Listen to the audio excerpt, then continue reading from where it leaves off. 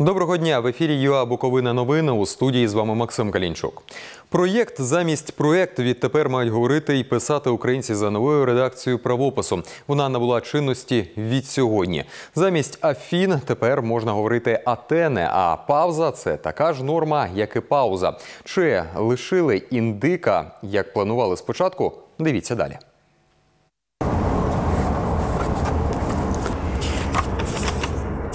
У виданні українського правопису усунені розбіжності в спільних моментах українського російського правописів. Це фраза з передмови до другого видання українського правопису 1960 року. Заступник директора інституту мовознавства імені Потебні Олександр Скопненко пояснює, довгий час український правопис уподібнювали до російського. 1933 року була проведена мовна реформа. Багато правописних правил, які не збігалися з правилами, які існують у російській традиції, були вилучені.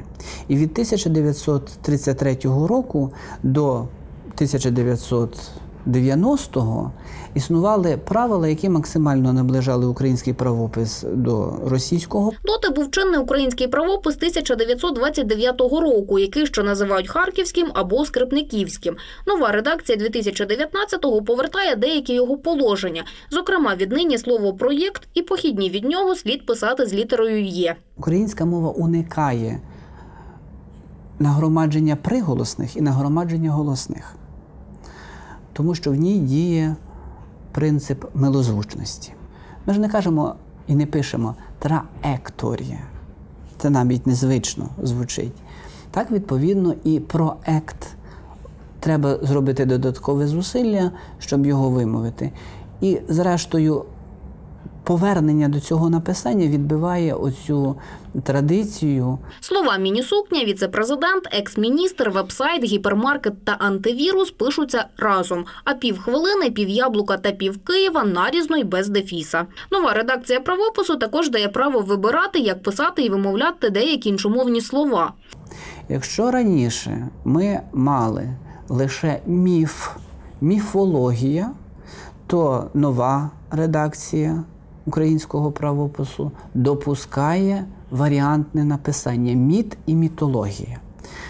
Тобто і міф це правильно, і міт правильно. У прізвищах та іменах людей допускається передавання звука г двома способами: гулівер і гулівер. У словах, запозичених із давньогрецької мови, допускаються варіанти написання: аудієнція і авдієнція, аудиторія і авдиторія. А ось індик пишеться з літерою і на початку. Натомість жорстку людину можна називати як ірод, так і ірод. Застосовувати нові правила треба від сьогодні. Як і коли їх впроваджуватимуть у школах, зараз вирішує Міністерство освіти. Треба заспокоїти усіх, що не стане так, що всі стали неписьменними, неправильно пишуть.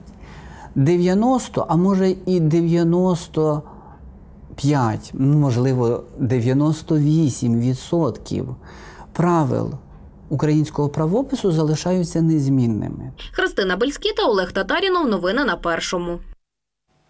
Головний військовий прокурор Анатолій Матіос сьогодні проведе нараду керівників силових структур через відео з Ютуб, у якому Румунія нібито захоплює територію Буковини після початку широкомасштабної війни Росії проти України у 2022 році. Це нам у коментарі підтвердила прес-секретарка ГПУ Лариса Сарган.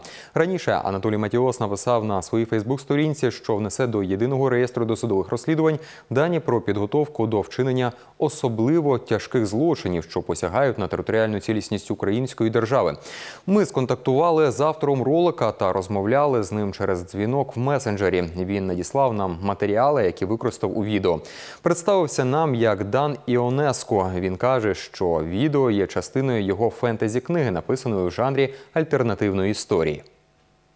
Я румунський ютуб-блогер. Я дійсно не очікував цього. Моє відео тільки частина моторошної книги. Я був дуже здивований, що це відео отримало стільки реакцій. Румунія та Україна є хорошими сусідами. Румунія засуджує анексію Криму. Тощо я ніколи не займався політикою. Дан Іонеско зазначив, що написав у Фейсбуці Анатолію Матіосу і пояснив, що це відео про альтернативну часову лінію. Водночас прес-секретарка ГПУ Лариса Сарган відповіла, що Фейсбук месенджер Анатолія Матіоса наразі заблокований. Відео, в якому Румунія нібито захоплює територію Буковини, прокоментував заступник голови Служби безпеки України Іван Баканов.